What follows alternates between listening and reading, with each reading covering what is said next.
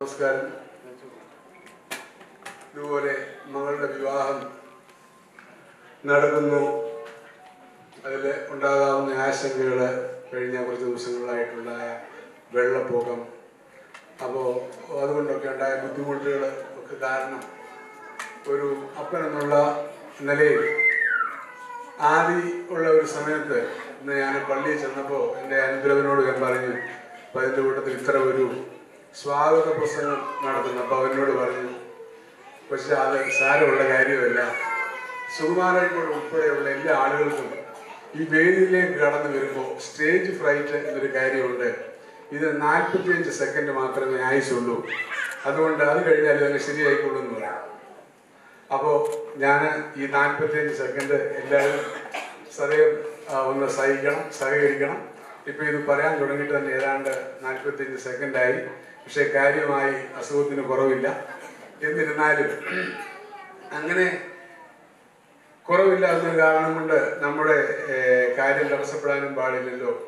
എന്തായാലും കാര്യത്തിലേക്ക് കടക്കട്ടെ ദൈവ തിരുനാമത്തിന് മഹത്വം ഉണ്ടാകട്ടെ. ഇന്ന് ഈ പ്രിയപ്പെട്ട മക്കളുടെ എൽവിന്റെയും ലിതിയായുടെയും അനുഗ്രഹിക്കപ്പെട്ട വിവാഹ കുദാശയോടനുബന്ധിച്ചുള്ള ഒത്തുകല്യാണ ശുശ്രൂഷയിൽ പങ്കെടുത്ത് പ്രാർത്ഥിച്ച് അവരെ അനുഗ്രഹിക്കുന്നതിനാണ് നാം ഒക്കെ ഇന്നിവിടെ വന്നുകൂടിയിരിക്കുന്നത്. ഈ സമയത്ത് നിങ്ങളുടെ മുമ്പിൽ ഇങ്ങനെ അഭിമാനത്തോടെ ദൈവതന്ന ആയുസിൽ വളരെ സന്തോഷത്തോടെ നിൽക്കുവാൻ കഴിയുന്നതിനെ തീർച്ചയായും ഞാൻ ഇത് ദൈവം തമ്പുരാൻ തന്ന ഒരു ദാനമായി ഒരു ഭാഗ്യമായി ഒരു പദവിയായി ഒക്കെ കാണുകയാണ്. അങ്ങനെയുള്ള ചടങ്ങിലേക്ക് എന്നോട് ഉറുമ്പുകുന്നേൽ കുടുംബത്തോട് ഇന്ന് വിവാഹത്തിന് ഒരുങ്ങി വന്നിരിക്കുന്ന എൽവിനോട് കട്ടയിൽ കുടുംബാംഗങ്ങളോട് ഒക്കെ ഏറ്റവും അടുത്ത ആളുകൾ മാത്രമാണ് ഇന്ന് ചടങ്ങിലെത്തിയിരിക്കുന്ന എന്നുള്ള ഒരു തിരിച്ചറിവോടുകൂടിയാണ് ഞാൻ ഇവിടെ നിൽക്കുന്നത്. അതുകൊണ്ട് തന്നെ ഇപ്പോ ലിനോമൾ പറഞ്ഞതുപോലെ ഒത്തുകല്യാണ ശുശ്രൂഷയിലെ ബഹുമാനപ്പെട്ട അച്ഛൻ പറഞ്ഞതുപോലെ ഇന്ന് ഇവിടെ നടന്നത് രണ്ട് കുടുംബങ്ങൾ തമ്മിലുള്ള ബന്ധം ഉറപ്പിക്കുന്ന സത്യപ്രതിജ്ഞ ചെയ്യുന്ന പരിശുദ്ധ മദ്ബഹ മുൻപാകെ പുരോഹിതന്റെ മധ്യസ്ഥതയിലെ സത്യപ്രതിജ്ഞ ചെയ്യുന്നതിന്റെ ഒരു ആത്മീയ ചടങ്ങാണ് ഇന്ന് നടന്ന നടത്തപ്പെട്ട ഒത്തുകല്യാണ ശുശ്രൂഷ.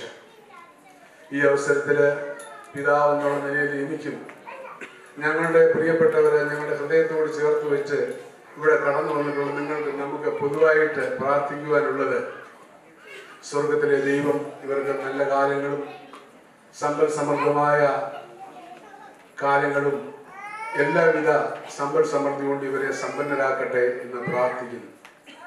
നമ്മുടെ വിവാഹ കുടാശയിലൊക്കെ കേൾക്കുന്നത് പോലെ അബ്രഹാം തന്റെ മകനായ ഇസഹാക്കിനെ കണ്ടതുപോലെ ഇസഹാക്ക് തന്റെ മകനായ യാക്കോബിനെയും യാക്കോബ് തന്റെ പുത്രനായ യൗസേഫിനെയും ഒക്കെ കണ്ട് സന്തോഷിച്ചതുപോലെ ദൈവത്താൽ വിളിച്ച് വേർതിരിക്കപ്പെട്ട ഇവർക്ക് ഇവർക്ക് ഇവരുടെ ദാമ്പത്യ ജീവിതത്തിൽ സന്തോഷിക്കേണ്ടതിന് ദൈവമായ കർത്താവ് ഇവർക്ക് ഉത്തമ സന്താനങ്ങളെ നൽകി ഇവരെ അനുഗ്രഹിക്കട്ടെ എന്ന് ഞാൻ നിങ്ങളോടൊപ്പം പ്രാർത്ഥിക്കുകയാണ്. കുടുംബജീവിതം എന്ന് പറഞ്ഞാൽ അത് ഒരു ശരീരത്തിന്റെ രണ്ട് അവയവങ്ങൾ പോലെയാണ്. ഒരു ശരീരത്തിലെ ഇടത് കൈയിൽ അല്ലെങ്കിൽ നമ്മുടെ വലത് ഒരു കൊതുക് കടിച്ചാൽ അതല്ലെങ്കിൽ ഒരു ഉറുമ്പ കടിച്ചാൽ നിശബ്ദമായി മറ്റാരും അറിയാതെ ഇടത് കൈയിലാണ് കടിക്കുന്നതെങ്കിൽ വലത് കൈ. അല്ല വലത് കൈയിലാണെങ്കിൽ അത് ഇടത് കൈ. പെതുക്കെ ഈ കൊതുകിനെ കൊല്ലുവാനോ അതല്ലെങ്കിൽ അതിനെ നശിപ്പിക്കുവാനോ ഇതാരും പറയാതെ തന്നെ തയ്യാറെടുക്കുകയാണ്. എന്നാൽ ഏതെങ്കിലും കാരണവശാൽ ഈ കൊതുക് പറന്നു പോ അകന്നു പോയാൽ ഇത് പരസ്പരം ചൊറിഞ്ഞ് തിരുമ്പി ഒക്കെ ആശ്വസിപ്പിക്കും.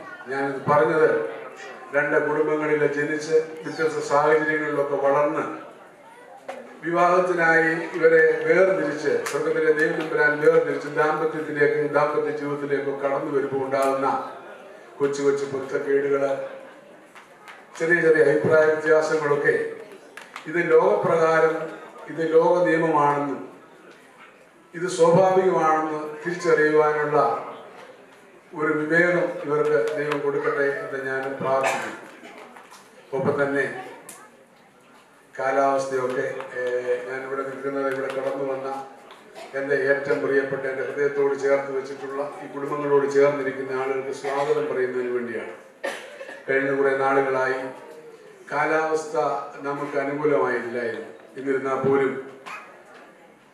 ഞങ്ങളുടെ ക്ഷണം സ്വീകരിച്ച് ഈ പ്രതിസന്ധികളെയൊക്കെ ഞങ്ങൾ ഇപ്പോൾ വെണ്ണിക്കുളത്ത് നിന്ന് കോട്ടയത്ത് വന്നിരിക്കുന്നു. അതിനേക്കാൾ ദൂരെ നിന്നൊക്കെ സ്ഥലത്ത് നിന്ന് ആളുകൾ ഇവിടെ കടന്നു വന്നിരിക്കുന്നത് എന്നോടുള്ള ഈ കട്ടയ കുടുംബത്തോടുള്ള കുടുംബത്തെ കുടുംബത്തെ കുടുംബത്തോടുള്ള കരുതലുകൊണ്ടാണ് എന്ന് ഞാൻ തീർച്ചയായും തിരിച്ചറിഞ്ഞുകൊണ്ട് ഇവിടെ കടന്നു വന്ന് ഞങ്ങളുടെ സന്തോഷത്തിൽ പങ്കുചേരുന്നതിന് കടന്നു വന്ന നിങ്ങളെല്ലാവരെയും ഞാൻ നിറഞ്ഞ മനസ്സോടെ സ്വാഗതം ചെയ്യുകയാണ്. ഈ കൂടെ ഒരു വാക്ക് പറയാതിരുന്നാൽ അതൊരു നന്ദികേടാകും എന്നുള്ളത് കൊണ്ട് അനൗപചാരികമായിട്ടാണെങ്കിലും ഒരു രണ്ട് വാക്ക് പറയട്ടെ. ഈ മക്കളുടെ വിവാഹം നിശ്ചയിച്ചുറപ്പിച്ചത് ഏതാണ്ട് മൂന്ന് നാലഞ്ച് മാസങ്ങൾക്ക് മുമ്പ് ഈ ഹോട്ടലിൽ വെച്ചാണ്. ഈ ഹോട്ടലിൽ വെച്ചാണ്. അന്ന് ഇതിന്റെ മനോഹാരിത പ്രൗഢഗംഭീരമായ ഇതൊക്കെ കണ്ടപ്പോൾ ദൈവം അനുവദിക്കുന്ന പക്ഷം ഒരു മകളുടെ പിതാവ് എന്നുള്ളതാണ് ഏറ്റവും ഭംഗിയായി. അതിഗംഭീരമായി ദൈവത്തിൽ ആശ്രയിച്ചതോടെ നടത്തണമെന്ന് തീരുമാനിച്ചു അതിനുവേണ്ടി ഇപ്പോൾ ഈ ഹോട്ടലിന്റെ പുറകിലുള്ള ഇതിനേക്കാൾ അതിമനോഹരമായ നാലുകെട്ട് എട്ടുകെട്ട് എന്നൊക്കെ പലതരത്തിലുള്ള പ്രസ്ഥാനങ്ങളുണ്ട്. അപ്പോൾ അവിടെ നമ്മൾ അത് ക്രമീകരിക്കുകയും അപ്പോൾ അവിടുന്ന് കയറുമ്പോൾ മുതലുള്ള ലൈറ്റ് എലിമിനേഷൻ അങ്ങനെയൊക്കെ ഏറ്റവും മനോഹരമായി നമ്മളത് ക്രമീകരിച്ചു. നാല് കഴിഞ്ഞ ഒരാഴ്ച കൊണ്ട് കാലാവസ്ഥയിലുണ്ടായ പതിവില്ലാത്ത മഴയും ഈ ദുരന്തവും ഒക്കെ കാരണം ഞാൻ പിന്നെ ഹോട്ടലിലേക്ക് വന്നില്ല. മറിച്ച് ഞാൻ ഇതിന്റെ ഈ സമയത്തൊക്കെ പറയാതിരുന്നാൽ അതൊരു നന്ദികളായി പോകുമെന്നുള്ളത് പറയുകയാണ് ഈ സമയത്ത് ഇതിന്റെ ഡയറക്ടർമാരിലൊരായ എന്നെ വിളിച്ചു. ചോദിച്ചാൽ അതുപോലെ ഞാൻ പറഞ്ഞു വിനോദ് വെള്ളമൊക്കെ ആണല്ലോ. അപ്പോൾ അതുകൊണ്ട് ഒന്നും ഭാരപ്പെടേണ്ട ഒക്കെ ഞങ്ങൾ ചെയ്തുകൊള്ളാം നമുക്ക് സ്ഥലം ഇങ്ങോട്ടേക്ക് മാറ്റാം. ആ ഞാൻ പറഞ്ഞതാൽ ഇനിയിപ്പോൾ നമുക്ക് മറ്റൊരു രണ്ട് മൂന്ന് ദിവസത്തിന് മുമ്പാണ് അങ്ങോട്ട് മാറ്റാൻ വേറൊരു സ്ഥലമില്ലാത്തത് കൊണ്ടും അതിപ്പോൾ ഇവിടേക്ക് മാറ്റി. അപ്പോൾ അതിനുശേഷം ഞാൻ ഇവിടെ വരികയോ ഇവരുമായി കാര്യങ്ങളൊന്നും സംസാരിക്കുകയോ ചെയ്തില്ല. ഇതെല്ലാം ഞങ്ങൾ ഏറ്റ് ഞങ്ങൾ അപേക്ഷ കൂടാതെ വളരെ ഭംഗിയായി. അവരുടെ സ്വന്തം കാര്യം വളരെ ആത്മാർത്ഥമായി. അത് മിസ്റ്റർ വിനോജ് മാത്രം വിചാരിച്ചാൽ അത് നടക്കത്തില്ല. അത് കൊച്ചുമോനെ വിളിച്ചു. അതിന്റെ മാനേജിംഗ് ഡയറക്ടർ ഏരിയാസ് ഒക്കെ വളരെ ആത്മാർത്ഥമായി എന്നെ കരുതി എന്റെ കുടുംബത്തെ കരുതിയതിന്റെ ഭാഗമായിട്ടാണ് ഞാൻ പ്രതീക്ഷിച്ചത്. ഒരുപക്ഷെ ഇത് ഈ നാലുകെട്ട് എന്ന് പറയുന്ന ഉദ്യാനത്തിൽ നടത്തുന്നതിലൊക്കെ രാജകീയമായി ഭംഗിയായി ഞാൻ ഇവിടെ വരുമ്പോഴാണ് കാണുന്നത്. ഇത് ക്രമീകരിച്ച് തന്നതിലുള്ള നന്ദി അവരോട് തീർച്ചയായിട്ടും വിജയത്തിന്റെ ഭാഷയിൽ അറിയിക്കുന്നു.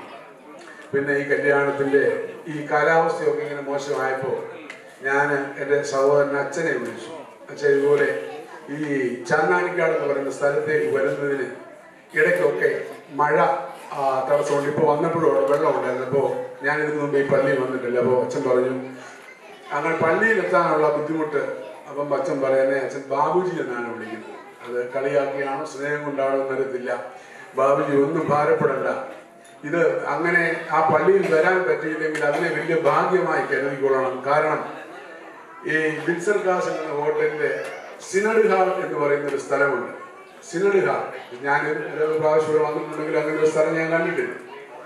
അപ്പൊ അതായത് സിനഡ് ഹാൾ എന്ന് പറഞ്ഞാൽ പരിശുദ്ധ അന്ത്യോക്യ പാത്രി എഴുന്നള്ളി വന്ന് ആഗമാന സുയാനി സഭയുടെ സകലവിധ മേനധ്യക്ഷന്മാർ മേനധ്യക്ഷന്മാർ എന്ന് പറഞ്ഞാൽ ഞങ്ങളൊക്കെ യാത്ര വിശ്വാസികളാണ്.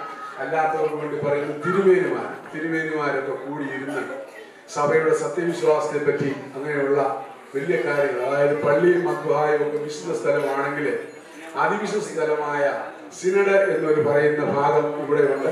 അവരതിന്റെ പരിപാലനം നഷ്ടപ്പെടാതെ അവിടെ വെച്ചിട്ടുണ്ട്. അതുകൊണ്ട് നിങ്ങൾ ആ കാര്യത്തെ ഓർത്ത് ഭാരപ്പെട്ട നമുക്ക് ആവശ്യമായി വന്നാൽ സിനഡ് ഹാളിൽ വെച്ച് ഈ കൈപിടുത്തം നമുക്ക് നടത്തി ഭംഗിയാക്കിക്കൊള്ളാം.